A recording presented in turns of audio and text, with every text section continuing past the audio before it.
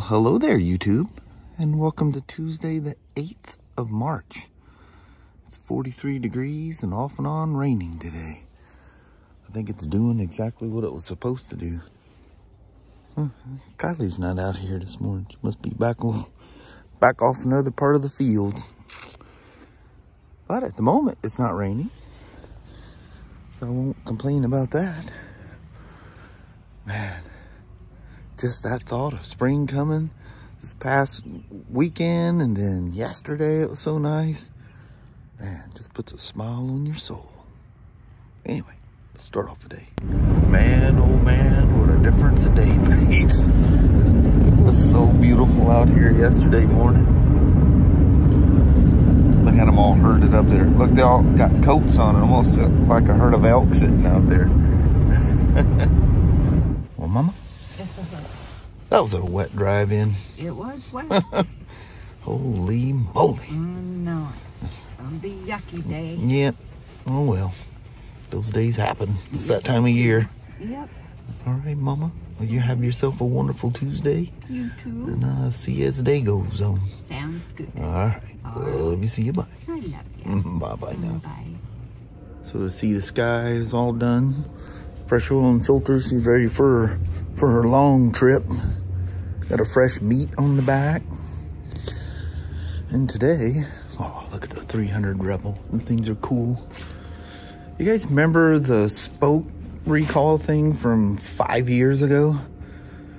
This uh, this guy never brought his in. The rear wheel is like coming apart. It was definitely one that needed to be inspected, repaired, or replaced.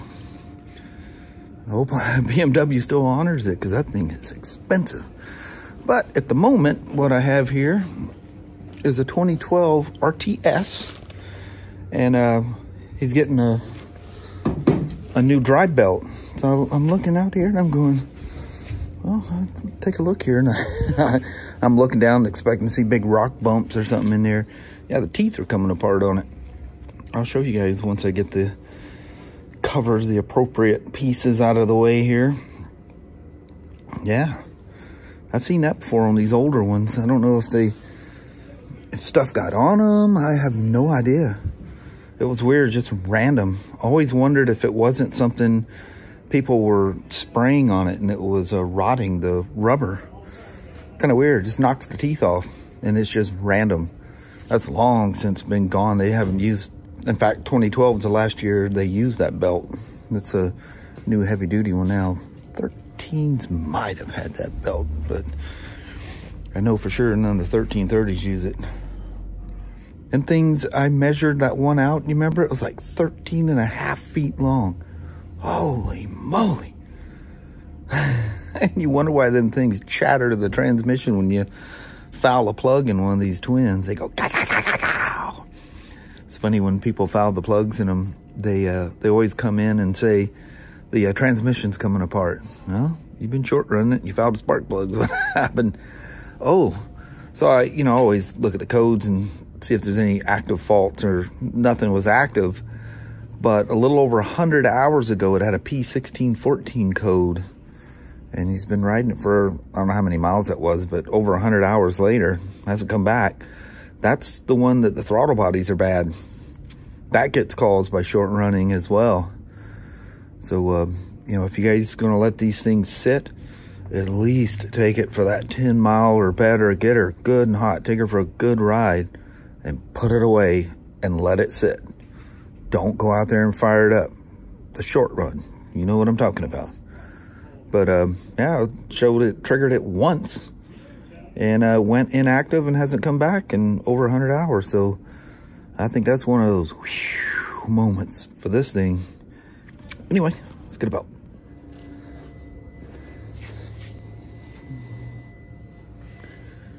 See the chunks missing out of it? And be really, really careful with these because they have carbon fiber in them. And uh, it won't be just the belt that gets eaten up. This one actually looks like something may have gotten in there because that's a very distinct line that ran through. Something must have got caught up, got flipped up in the in the area and got her. Cause the sprocket looks nice and clean. The rear sprocket looks good. So uh, that must have been a piece of debris. Had nothing to do with with anything the customer done. Listen to a cool sound the carbon or the uh, Kevlar makes. Sounds plastic, doesn't it? Wow, that thing's really chewed up. Holy moly. Yeah, see these right here are the ones that'll get you. Never slide your hand around on the belt when you're checking it out. Because when that Kevlar goes in, um, it doesn't come out very easy. I mean, in you. Yeah, it's brutal. Don't ask me how I know. All right, let's get a new one put on here right quick. So this is that GSA with the old bulletin that, uh, yeah, he's got some crazy loose. I mean, there's a whole handful of them. It can only have a maximum of seven loose spokes. One of the things I've seen people, because people just don't know, but they try, because the nipples are on, are on the hub, not in the wheel. They go, you know, through the wheel, and then the nipples are in the hub. What people don't realize, I don't know if I can get this to show up, but inside each nipple, if you look down in there, there's a little Allen screw. That is a lock screw. Before you grab this thing with a torque wrench and try to adjust them, you need to loosen that little tiny uh, lock screw in there. So it's really tricky to adjust BMW wheels anyway. There is a crazy procedure which I have to go through because the front wheel on this one passes. So passing meaning I can do what's called a rework. And you go through this very specific thing where you go one direction on inside and then another direction on the outside. It's this whole, whole spiel. And you get this um, lube that you got to spray down in there so that your torque is correct. You torque them to a certain amount and you go back through, torque them another way. And you just do this back and forth between one side of the wheel and the other a tremendous amount of spokes and it takes quite a while to do it. But yeah, don't, don't ever just grab those spokes and turn them with something. See if I can show you this thing. I don't remember what size that thing was. Let's just stare at a wall there for a second. It's either a two or a 2.5. It's a tiny little feller. Okay, so it must be a 2.5. No, maybe it is the two. That just felt loose. Let me grab another one here. Yeah, there we are. So it's a two millimeter Allen inside the spoke. And what that's doing, that's threading inside that nipple. You can't really get a, a good look at the nipple, but there you are. That's a good enough view. What's weird is on the outside, it's just smooth. You use the nipples because you turn it from the inside. But anyway, you loosen that, that lock nut, then you make the adjustment on your spoke. Man, I've seen some people mess these things up. Or, worse yet, I get them messed up. Because you get, you know, part of the service services go through and ding it along, which I can show you that too. The sound you're supposed to have of a BMW and a Bullet, they got a clink, a clunk, and a plunk or something like that. But But listen to these.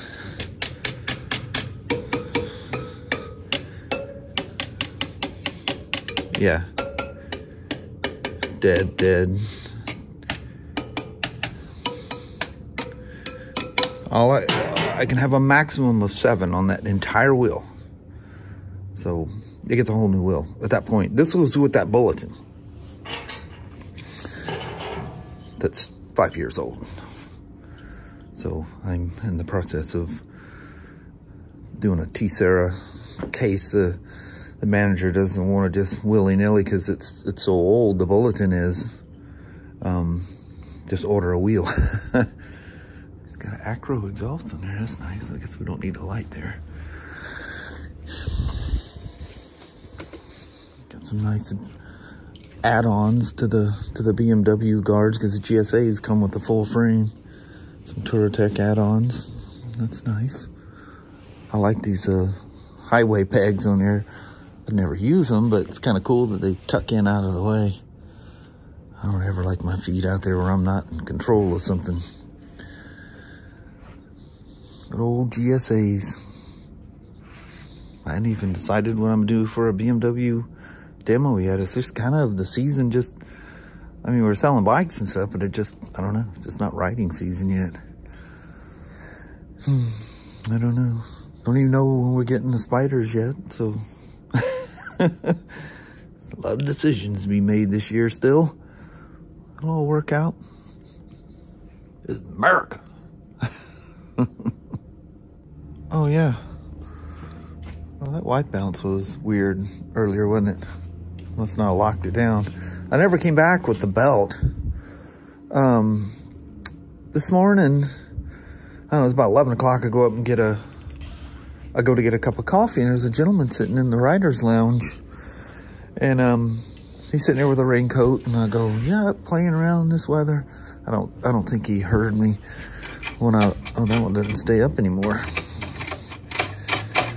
Good old aftermarket stuff. But, uh, anyway, he, doesn't really hear me and I get my cup of coffee and say, you know, have a awesome day.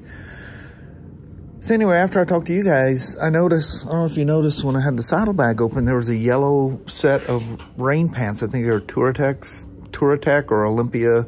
They were, you know, motorcycle rain gear. And, um, anyway, it dawns on me. So I, I panicked because I had to finish up, you know, the RT. Um, Matthew wasn't able to pull the tire, so yeah, I'm paying for it today. so I pulled the wheel off of it and he just did the tire. That's the tire we took off of it there. So I had that wheel still to put back on and do the belt, you know, alignment adjustment, all the stuff you do with a with a tire change. You, you start off fresh. So anyway, I'm taking my time. The tool guy comes, you know, I think I've got the rest of the day. I kind of have a light load today. So, you know, I'll get this belt done. No problem. You know, four days over with. And, um, anyway, I, I'm, I'm looking at that rain gear. In fact, it was the thought hit me as when I pulled that belt off and I was showing you that. And I threw it on the ground and made the plastic sound that, that, that it makes. But anyway, uh, I thought, dude, that looks like the rain gear from that guy upstairs in the rider's lounge. So I thought, I'm gonna run upstairs right quick. So I run upstairs, go into the BMW area, and I look all the way over on the Indian side where the rider's lounge is. And that's that gentleman still sitting there from this morning. So I can't find the service writers are busy with whatever. I can't find anybody. So I put two and two together. The guy sitting in that rider's lounge is the guy with the Spyder waiting for me to put a belt on it. Nothing on the RO says that it was a customer wait. And uh, so anyway, I, I got that belt on there faster than you ever seen a belt. And uh, yeah, I was done within probably half hour. I think I spent a, to a total of like 35 minutes on that belt. Fastest I've ever swapped a belt on one of those things. So I get, I want to just get this thing done. So I get up there and I can't, I just have perfect timing. So I go up there, I can't find the service writer again. So I go walk in the, eh, down to the lounge and I said, are you, are you here with a Spyder and a belt replacement? And so he's kind of, he kind of perks up and he smiles and he goes, yeah, when, when do you think that's going to be ready? I said, well, it's done now. And, uh, so I sat down and I go, look, I gotta, I, I personally am going to apologize to you. He was, turns out he was totally cool. He thought he was going to spend the whole day here. He says, I'm retired. I ain't got nothing but time anyway. But yeah, I kept apologizing. Just kept saying, you do not need to apologize. Go, he goes, I was expecting to wait quite a while anyway. I said, man, I would have had you done hour and a half, two hours ago if I knew you were waiting for this thing. So I just felt horrible. Luckily, he's just the nicest guy ever. And um, he was telling me about he used to go to our Longview store. And anyway, it just turned into a nice conversation. But man, did I get that belt done fast. And I, I probably went over everything about three times, you know, never be in a rush, you know, but it, it's a pretty straightforward thing. It's hard to miss anything. Just go over and hit everything, make sure everything's tight, you know, handful of wrenches in your hand and just double check yourself. You don't want to ever leave anything loose. But like I say, it's a very straightforward thing. But anyway, this is me apologizing to you, kind of an apologize, apologize, whatever day, the, for not coming back and discussing the belt. I think the last thing I said was I was going to come back and talk about the belt. Never did. All right. So it's just about time to get out of here in a little bit. I was doing a thing with BMW to make sure they're going to be okay replacing this wheel. Just don't want to willy-nilly order a wheel. They're really expensive. All righty. What happened, Mama? We lost all that nice evening sunshine and all the beauty that we had yesterday. Well, we just have clouds and wetness. Yeah, Vancouver only gained one minute of sunset from yesterday. It must be, you know, you know, it swaps around and most of the gain is in the morning. The day's getting longer, but it's adjusting more in the morning and the afternoon. We care about the afternoon. Let's head home, Mama. We got some Walmart stops and gas. Oh, God forbid, gas. really? You don't get gas? Yeah. And then uh, I guess we'll see you guys at the house from there. Holy crap. In three days, it's gone up 60 cents. Three days ago, we put gas in here and we are freaking out that it was 419.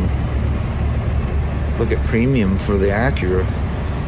It was uh, 4 459, I think it was, or something like that. I don't remember what it was. Dang. Oh well. It is what it is. Well, hello there, YouTube. Welcome to the end of the day. Did our Walmarts and well, you seen the GC truck stop thing there. Fifty-one bucks to put gas in this thing.